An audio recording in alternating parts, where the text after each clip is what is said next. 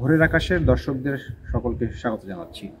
আমি এই মুহূর্তে রয়েছি বাংলাদেশের সবচেয়ে আলোচিত ভবন, যে ভবনটি এখন বিশ্বব্যাপী আলোচিত হচ্ছে এবং এই ভবনের যে আর্কিটেকচারাল যে ডিজাইন সেটি আন্তর্জাতিকভাবে স্বীকৃতি পেয়েছে এবং এটি এবার রিবা অ্যাওয়ার্ড পেয়েছে।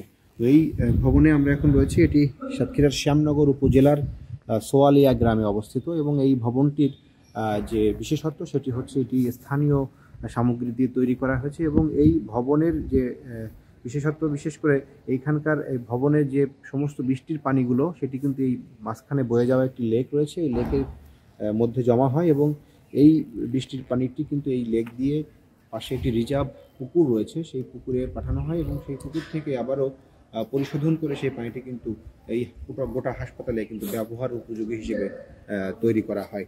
এছাড়া এখানকার যে ওয়েস্ট ওয়াটার যেটি রয়েছে, সেটি কিন্তু একটি প্রক্রিয়ার মাধ্যমে আবারও সেটি বাইরে একটি নির্দিষ্ট স্থানে রাখা হয়, যেটি ভবিষ্যতে সেটি সেই পানিটি যাতে ব্যবহার করা যায়।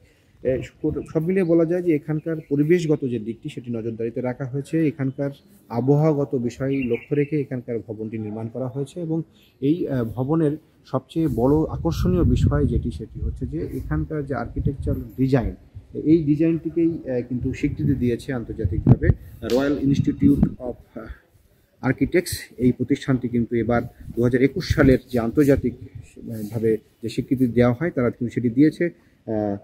রিবা অ্যাওয়ার্ড যেটি, সেটি কিন্তু এই হাসপাতাল পেয়েছে। এখন পর্যন্ত এখানকার যারা কর্মকর্তা, কর্মচারী রয়েছেন, তারা কিন্তু বিষয়টি জানার পর অনেকটা আনন্দিত, গর্বিত।